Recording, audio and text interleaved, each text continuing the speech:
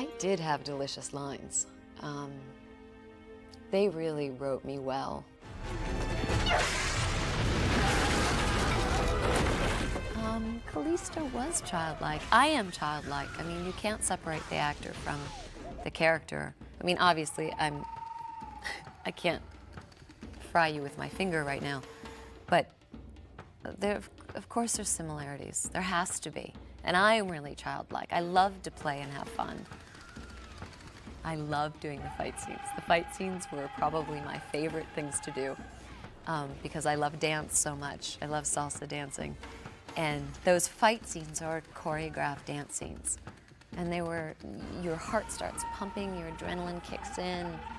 It's a dance to take the hits, to give the hits. They're just, they're beautiful and they're fun. What did you think you were doing? Girls gotta have some fun. She's just so powerful on screen, and I always, she always makes me laugh, even when it's ho just horrid what she, whatever her character's doing. She's so entertaining, right? You can't take your eyes off her. And was the perfect foil to Xena because Hudson's a very strong actress and um, had such great instincts. I, I don't imagine Callisto was like this perfect little farm child who was like so sweet and like Gabrielle. I'm sure she was like a little ragamuffin in the mud causing problems, you know, stealing stuff. I'm sure she wasn't this angel.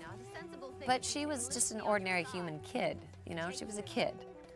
She was probably a little bit of a scrapper, but I think when her whole family was destroyed by Xena, um, she had nowhere to focus her energy on.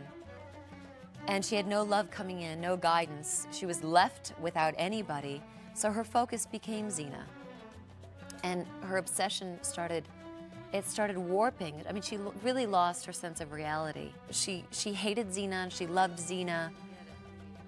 She wanted, I think she probably even thought that she was similar to Xena. She's the one person that you would believe could absolutely outsmart smart Xena. I think Xena saw a lot of herself in Callisto, I imagine. That they were, they were very much equals and you wouldn't necessarily, you wouldn't know who's going to win. And that was probably painful and fascinating to both of them.